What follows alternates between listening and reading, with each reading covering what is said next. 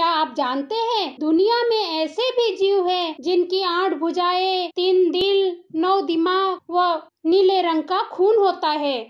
जी हाँ आज हम ऐसे ही जीव के बारे में बात करते हैं जो समुद्र के महासागरों में रहते हैं। ऑक्टोपस को हिंदी में अष्टबाहु कहा जाता है क्योंकि इसकी आठ भुजाएँ होती है लेकिन वास्तव में इसकी छह भुजाएँ होती है और दो पैर होते हैं। ऑक्टोपस 10 सेंटीमीटर से लेके 50 फुट तक का लंबा होता है।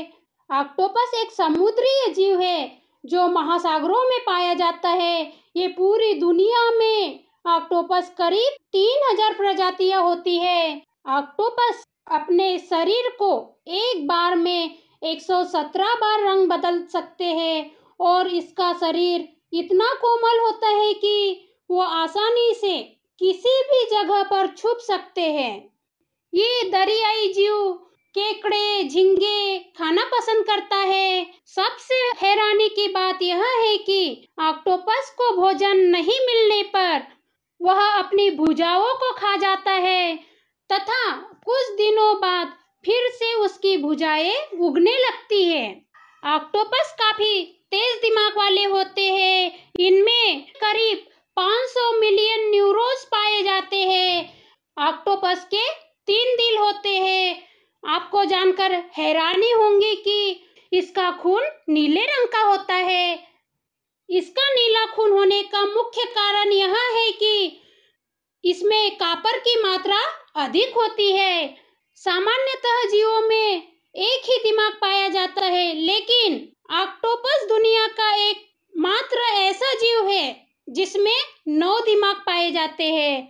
ऑक्टोपस का जीवन काल बहुत कम होता है।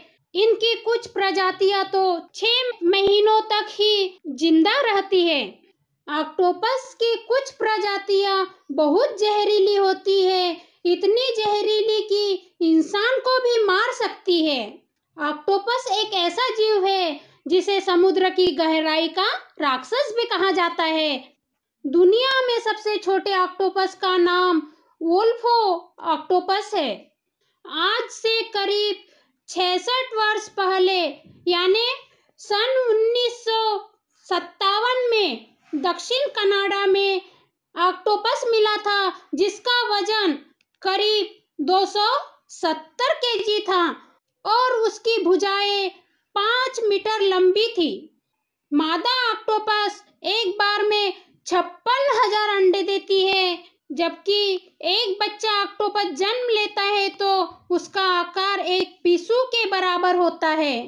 इस प्रकार की रोचक जानकारी के लिए हमारे चैनल को सब्सक्राइब करें, वीडियो को लाइक और अपने दोस्तों को शेयर करें। पुनः मिलेंगे हम इसी प्रकार की रोचक और दिलचस्प जानकारी के साथ नए वीडियो में। धन्यवाद